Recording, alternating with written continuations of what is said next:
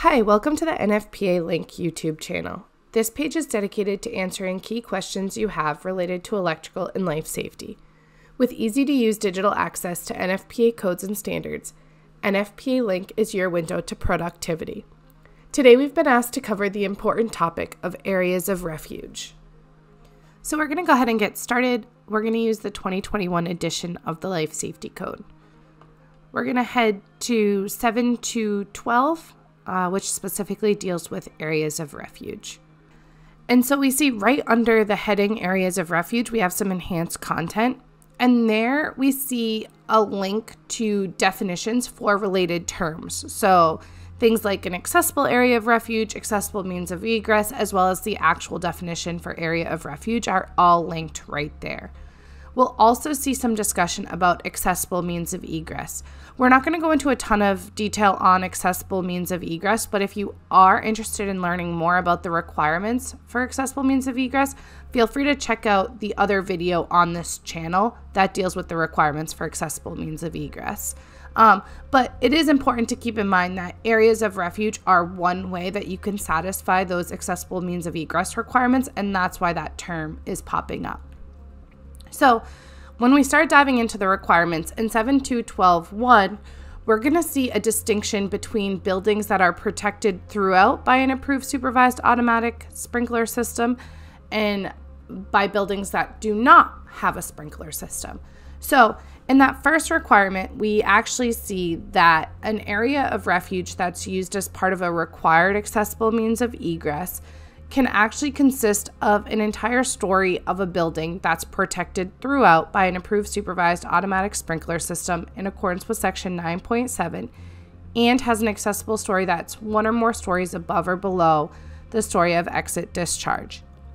So, what that's saying is that if you have a fully sprinklered building, you can actually count an entire story of that building as an as an area of refuge provided you meet the following criteria. So, first, each elevator landing has to be provided with a two-way communication system.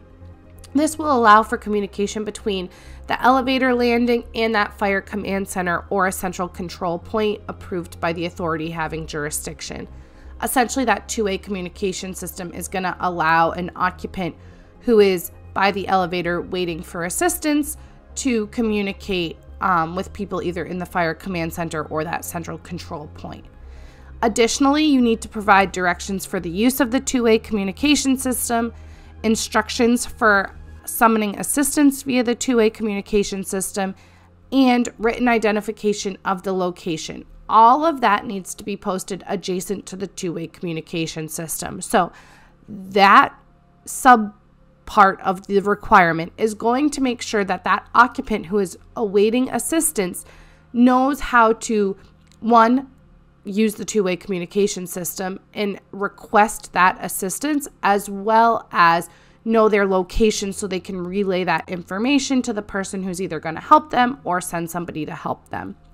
Additionally, the two way communication system has to include both audible and visible signals. So that's for your building that's fully sprinklered. If your building is not fully sprinklered, then your area of refuge has to meet the general requirements of section 7.1 and the more specific requirements of 7.12.2 and 7.2.12.3. I'm sorry, it was 7.2.12.2 and 7.2.12.3. So that first section 7.1 deals with your general means of egress requirements. So there you'll see things like headroom requirements, walking surfaces requirements, and means of egress reliability requirements, as well as a variety of other things. The other two subsections, so 7.2.12.2 and 7.2.12.3, are going to provide more specific requirements for that area of refuge. So I'm not going to go through all of them, um, but you'll see things like requirements for a two way communication system, requirements for waiting spaces for wheelchairs within your area of refuge.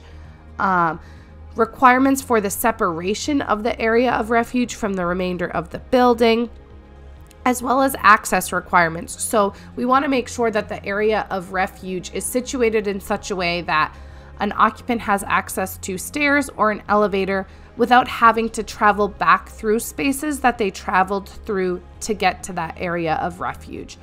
There's a number of other requirements as well, including things like signage requirements. Um, so, all of those are contained in 7.2.12.2 and 7.2.12.3.